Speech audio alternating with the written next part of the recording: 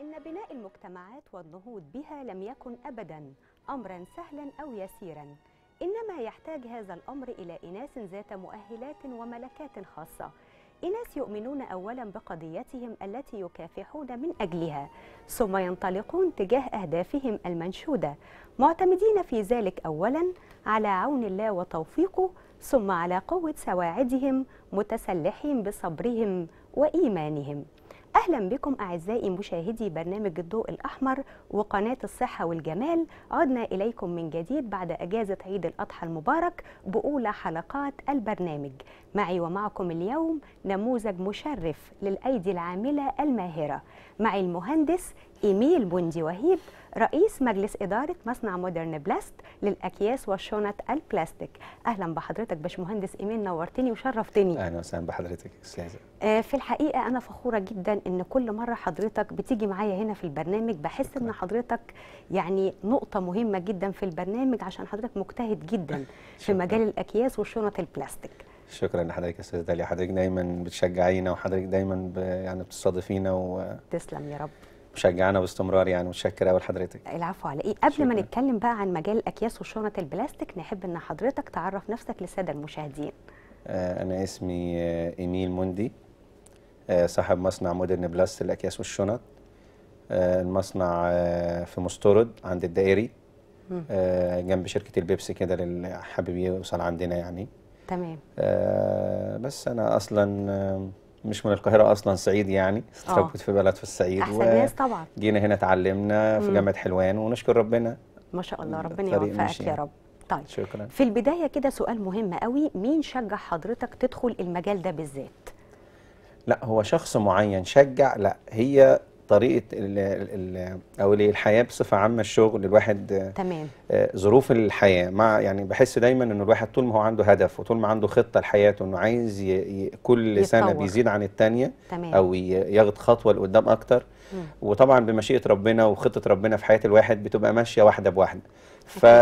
فالظروف مشيت إن أنا اشتغلت في المجال ده في كنت حسابات يعني فيه. مم. طبعا مع تجميع معلومات مع معرفة السوق مع الاجتهاد مع إن أنا عرفت المستوردين بتوع آه، بتوع المكن عرفت التجار بتوع الخامات كانت نشكر ربنا الواحد علاقته بهم حلوة لله، فكله. ده ساعد إن الواحد يعرف السوق يعني مش حد. معين شجع حضرتك لا ما حدش معين إداني الفكرة ولا حد معين قال لي آه، ادخل المجال دوت. لا أنا الطبيعي أنا كنت شغال في السياحة تمام آه، بعد جامعة حلوان يعني بعد جامعة حلوان مم. خلصت الجامعة ورحت اشتغلت في السياحة آه، رجعت من ال- السياحة على القاهرة آه، اتوظفت في مطار القاهرة في مبنى التبادل واللوجستيات مم. فكنت شغال بالليل بس ومش كل يوم مم. بنروح يوم ويوم لا مم. فطبعا ده مدي وقت طويل فاضي. آه، الوقت ده أنا ما حبيتش إنه يضيع مني كده آه. كان ممكن خلاص انام ومفيش عايز مشكلة. يعني. تستفيد بيه. عايز أستفاد بالوقت مم. لأن إحنا كنا بنروح بالليل مم. يوم نروح ويوم لأ. تمام. فأنا اصبح عندي نهارين وليل بنامهم في البيت.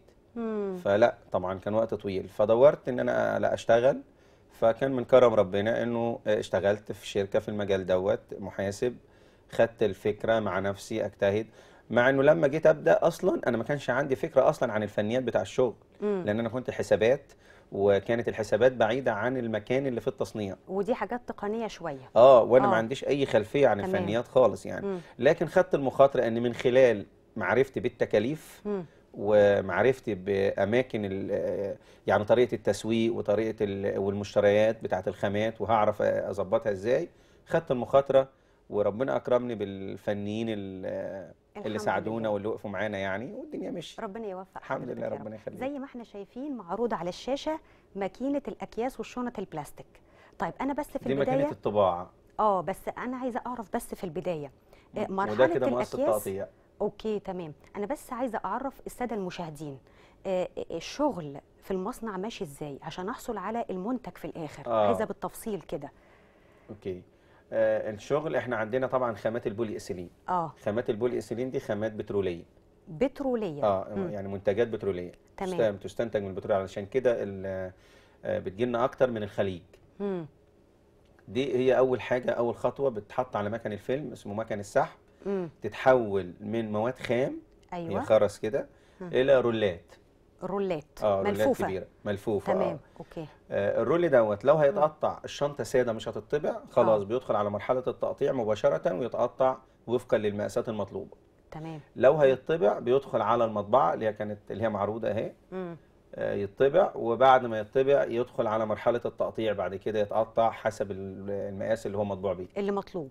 اللي مطبوع بيه آه طيب. الشنطة اتطبعت بيه المقاس ده خلاص هو بيت- بيتقطع بيه. حلو قوي كده تمام. نبقى إحنا عندنا الطريقة من الخام ده خليناها رولات والرولات دي يا إما تتقطع سادة يا إما تطبع تطبع الأول وبعدين تتقطع. لغاية أما نوصل للأكياس كده وصلنا البلاستيك. للشنطة بقى. طب دي حاجة حلوة آه. قوي المنتج لازم يكون في النهاية ذات جودة عالية. آه. لأن المستهلك بيبحث على حاجتين.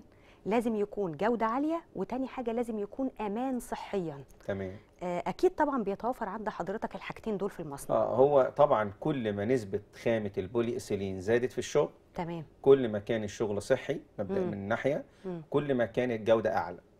آه. فطبعا ده آه آه العميل فيه مشكلة إنه دايما يدور على سعر.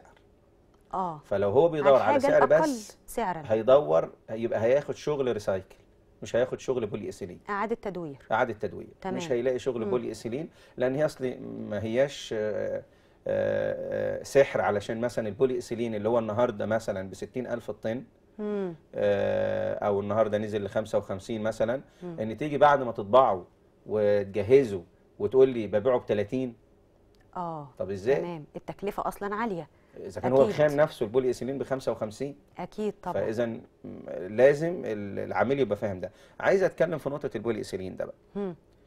آه، خامات البولي اسيلين دي طبعا آه، هي أنواع مختلفة. في بولي اسيلين آه، high density و polyethylene low density. تمام. ال polyethylene ال high density دوت بيتصنع منه في منه حاجة اسمها نفخ.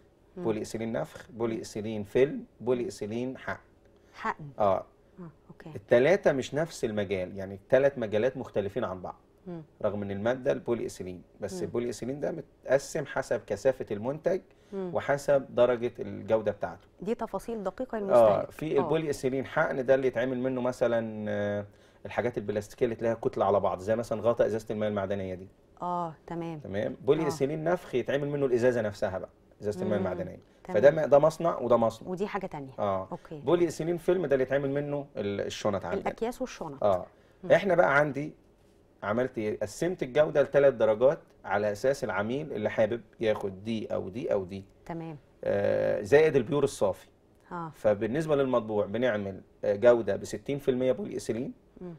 آه، في جودة بنسبة 75% بولي ايثيلين في جودة بنسبة 90% بولي ايثيلين مم. زائد طبعا اللي هو ال pure 100% بولي ايثيلين آه هل في بعض المصانع بتلجأ إن هي تقلل من نسبة البولي ايثيلين عشان تخفض في مظبوط السعر؟ مظبوط. يعملوا ما كده. هو ده اللي بيحصل عشان كده العميل بيجري على السعر ال- الرخيص. لكن أنا عايز أقول للعميل حاجة. آه. كل ما نسبة البولي اسيلين زادت في الشغل مم. أنت آه بتدفع سعر زيادة. مظبوط. بس خلي بالك بتاخد كذا ميزة. الميزة الأولانية إنك بتاخد جودة عالية. مم. وطبعا متانة في الشنطة يعني. آه ال- البولي اسيلين لو قل في الشنطة. آه لما يخزنها في المخازن وتتأخر عنده فترة. بتبدأ تتقطع لوحدها آه لكن كل ما زادت نسبة البولي اسيلين كل ما انت الشنطة عندك. مهما طولت في المخازن بتعيش معاك آه لكن الميزة الأهم بقى آه وده هدي حضرتك مثال عملي عليه. إنه كل ما نسبة البولي اسيلين زادت. وانت دفعت سعر أكتر لكن بتاخد عدد شنط أكتر في الكيلو آه دي نقطة برضو مهمة آه أوي. فأنت تمام. اللي دفعت فلوس زيادة آه أخدت بيه شنط زيادة طيب تمام يعني مثلا مم. لو شنطة مقاس عرض 27 في طول 45 خلينا آه. أقول عملي للعميل اللي بيتفرج علينا دلوقتي آه. تمام لو بنسبة خام 60% بولي ايثيلين مثلا. آه تعد في الكيلو تقريبا 70 شنطه 80 شنطه مم. okay مم. لو بنسبة 90% بولي ايثيلين آه تعد معاه 180 شنطه 180 آه. فرق. الضعف. الضعف على في مقابل إن السعر الفرق قد إيه؟ تقريبا آه. 20 جنيه في الكيلو. حاجة بسيطة في الأول. آه. تمام تمام. فأنت بتاخد 2 كيلو في كيلو. آه ده برضو يخليني أسأل حضرتك في نقطة مهمة قوي. إيه بقى دور الدولة في تنمية المشروعات اللي هي زي حضرتك؟ هل مثلا في عوائق قابلت حضرتك لما فتحت المصنع؟ هي العوائق آه. طبعا آه. الأزمات الاقتصادية طبعا بيبقى لها دور بتأثر على كل لكن الصناعات الأزمة. الكبيرة بالنسبة لنا في مصر أكيد إن إحنا ما عندناش شركات تنتج خامات البولي اسيلين ب- بكميات كافية آه إحنا ما عندناش غير الشركتين اللي آه. موجودين مم. والشركتين نسبة الإنتاج بتاعتهم مش كتير ما بيغطوش تقريبا 30% مم. بالإضافة إنه مش بس كده ودي بقى نقطة أتمنى الدولة تاخد بالها تاخد بالها منها إنه أيوة. الشركتين باستمرار. يعني وإحنا في عز الأزمات الاقتصادية وفي عز إنه ما فيش دولار عشان المستوردين يستوردوا مم. تلاقي الشركة قفلت وبتقول لك هصدر بره طب ده كلام لا ما ده. معوق. لا ما ده معوق. فده بيخلي ال- المنتج الخام المادة الخام تقل في السوق أكيد طبعا مجرد إنها تقل في السوق مم. بتعمل أزمة مم. سعرها هيزيد جدا مم. وده بتأثر على السوق أيوه أيوه آه، لكن كمان أتمنى إن الدولة يكون فيه رقابه يعني إذا الدولة أتمنى إنها تزود الشركات اللي بتنتج المادة الخام. بتاعة البولي ايثيلين علشان تغطي. أدي يعني أول طلب. يعني إذا كنا النهارده بنن... ب- عندنا شركات تنتج نسبة 30% أو أقل. يا ريت نوصلها ل 50 60% تمام. تبقى بحيث أكتر. إن إحنا نوفر الاستيراد. أيوه طبعا تمام. لأن في مشكلة. مم. كل ما الاستيراد هو اللي زاد والمنتج المحلي قل رغم إنه نفس الجودة يعني مفيش فرق. أكيد. لأنه ده منتج بترولي هنا أو هنا. أكيد. كل ما زاد الاستيراد ال- ال- الاست- ال- عملية الاحتكار في السوق بتزيد.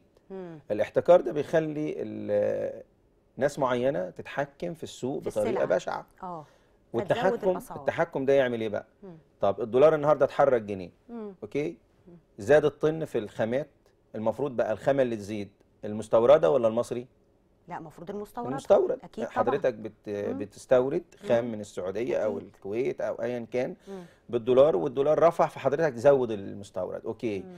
بترفع سعر المصري ليه لما الدولار يزيد أكيد ما انت المصري في عندنا شركة مم. الشركة دي بتطلع سعر كل أول شهر بفاكس مم. والمفروض كله يلتزم بيه ليه حضرتك ترفع سعر المصري لما مم. الدولار يتحرك ملهاش لازمة معلوش اي أكيد. ده يبقى اذا دور الدولة في الرقابة بقى. فين فين لازم الرقابة؟ يكون في رقابة ده آه معروف أنت المنتج المصري. في فاكس طالع بيقول إن سعر المنتج داخل الشركة. ب 53000 مثلا. يبقى ما يتباعش ب 60 مم. ولو اتباع ب 60 لما يجي الدولار يتحرك ما أنت ما تزودش. أنت بيع بنفس السعر بتاعنا. فده. بيعمل أزمات في السوق. طبعا طبعا. الأزمات دي أثرت على مصانع صغيرة كتير. مصانع كتير قفلت. دي أول عائق يعني. لكن طيب. العائق المادي كمان. آه. العائق كنت لسه المادي. هسأل برضو في الناحية المادية. آه العائق المادي تأثيره كبير ب- ليه؟ إحنا مثلا من كام سنة كان طن البولي ايثيلين مم. 12000 جنيه. آه. من ست سبع سنين مثلا. تمام. لما يوصل ل 60000 فأصبح أنا النهارده. لو بشتغل ب 10 طن في الأسبوع. أكيد. لما كان ب 12000 آه، كانت أجيب مثلا ال 10 طن ب 120000 مثلا. مم. النهارده لما يبقى ب 60000 ال 10 طن بقوا ب 600000 آه فرق كبير المي من الفرق من ال 120000 مم. لل 600000 دول يجوا منين؟ لا فرق كبير فطبعا ده أثر على ناس كتير وخلى ناس كتير قفلت. آه الدولة شجعت ده مم. في حتة بقى القروض اللي هي آه، آه، مبادرة البنك المركزي. آه طبعا دي. مبادرة كويسة جدا ويمكن اتكلمنا فيها قبل كده. حلوة فعلا آه جميل دي دي مبادرة اتكلمنا في حلقة فيها غطت. آه دي غطت شوية موضوع طب أنا بس. هنتهز وجود حضرتك عشان نختم حلقتنا بس في مفاجأة إن شاء الله وإحنا بنختم الحلقة إن إحنا رحنا مصنع مودرن بلاست للأكياس وشنط البلاستيك حبينا نشوف الشغل عامل إيه لقيناه ما شاء الله كفاءة عالية جدا ولقينا كمان في حاجة مختلفة غير الكفاءة. روح حلوة بين العاملين وبعضهم بيشيدوا بحضرتك صراحة في العمل وكمان بعض العملاء بيقولوا كلمة شكر لحضرتك. إن شاء الله هنختم بيها حلقتنا. بس قبل ما أختم الحلقة عايزة كلمة لحضرتك للشباب. إزاي توعيهم إن هم يتجهوا بقى لعمل مشاريع؟ في البداية كده نشجعهم إزاي؟ حب الشغل. آه. حب الشغل. يحب العمل. اخلص فيه. امم اجتهد. مم. ما تضيعش وقتك في أي حاجة. مم. انت عمرك لسه صغير. مم. اللي مش هتستمتع بيه النهارده هتستمتع بيه شوية لقدام بس كون نفسك النهارده فاستفاد بالوقت. امم يعني أنا مثلا من ضمن الحاجات اللي أثرت معايا في موضوع الوقت آه. آه كنت قريت كتاب اسمه إدارة الوقت للدكتور إبراهيم الفقي. آه تمام. بيقول أنا لو عشت 60 قريته. آه لو عشت 60 سنة آه. ونمت بس 8 ساعات كل يوم آه. يبقى أنا ضيعت من ال 60 سنة 20 سنة نوم بس. آه.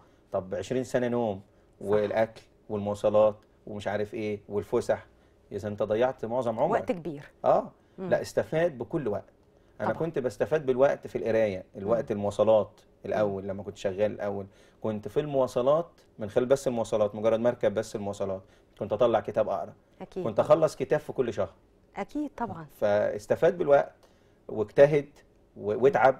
وكل ما تتعب في الشغل افرح ما تزعلش. ما تقولش. يا ده أنا زعلت من الشغل. لا طول ما في شغل وتعبت فيه افرح. بكلمة حضرتك دي إن شاء الله بس يعني تبقى دفعة جميع للشباب. طبعا أنت عارف إن الحلقة ما تكفيش عشان أستمتع باللقاء مع ربنا حضرتك. آه، أعزائي المشاهدين زي ما أنتم شايفين أن صناعة الأكياس وشنط البلاستيك من أهم الصناعات في مصر. لكن الأهم لازم يكون عندنا مصنع يكون ذات كفاءة عالية وإدارة متميزة. وده موجود في مصنع مودرن بلاست للأكياس والشنط البلاستيك. شرفت بلقائي مع المهندس إيميل موندي وهيب رئيس مجلس إدارة مصنع مودرن بلاست للأكياس والشنط البلاستيك. شكرا على حسن المتابعة وإلى اللقاء في حلقة جديدة وموضوع جديد من برنامج الضوء الأحمر.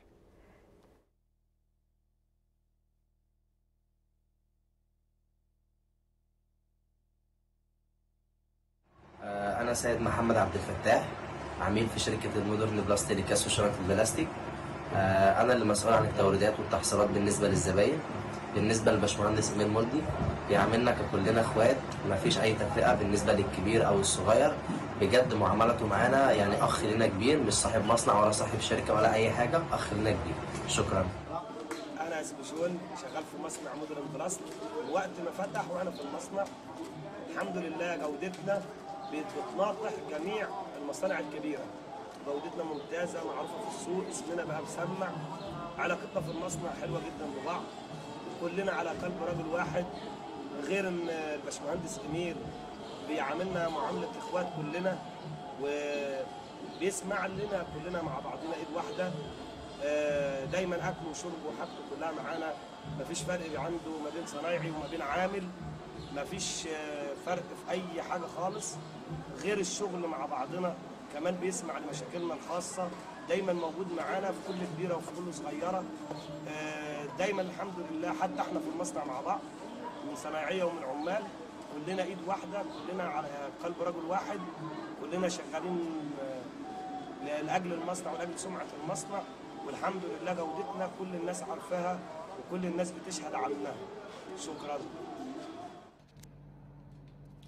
أنا رأس صفوة أديب بتعامل مع أستاذ أمين من خمس سنين. من الناس اللي ارتحت معاها جدا وجودة شغلها نجحتني و... وأسلوبه في التعامل ريحني. اتعاملت مع ناس كتير أوي بس لقيت الراحة مع أمين بصراحة في الشغل يعني. ومن نجاح لنجاح إن شاء الله. أنا بيتر شحاتة مسؤول عن مكنة التقطيع في المصنع. وهنا كلنا معاملتنا كويسة مع بعضينا والباشمهندس بيعاملنا كويس كانتنا أخواته الصغيرين. بصراحة حاجة كويسة يعني. شكرا. أنا اشرف فرج ويليام. فن على مكنة فيلم في مصنع موديل للبلاست فمع الأستاذ بنتعامل بالمكان يعني واحد من واحد مننا وبنتعامل كلنا اخونا كلنا إخوات.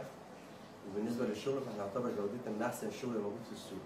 في ثقة وتامة بينا بنتعامل مع بعض بحب وود المكان مفيش منا حد حد غريب حد بعيد. أستاذ زين بيعاملنا كلنا واحد. وأشكره وأشكره على الثقة التامة دي وعلى الثقة المتبادلة بينا. وربنا يديمك لينا يا ريس. شكرا.